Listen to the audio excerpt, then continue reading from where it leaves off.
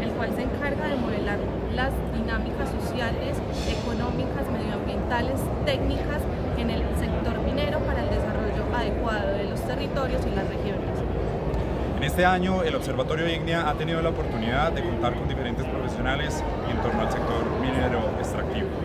Para la ocasión y este año en curso, el Observatorio IGNIA ha desarrollado más de 15 proyectos de investigación en materia de tecnificación minera, innovación minera, formalización minera y demás.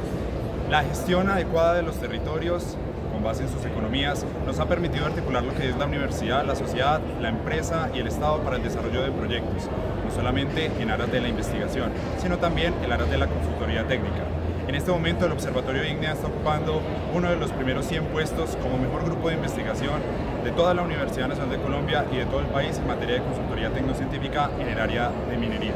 Les agradecemos a todos contar con su participación y apoyo en el desarrollo de estos eventos, puesto que el Observatorio IGNIA ha permitido la vinculación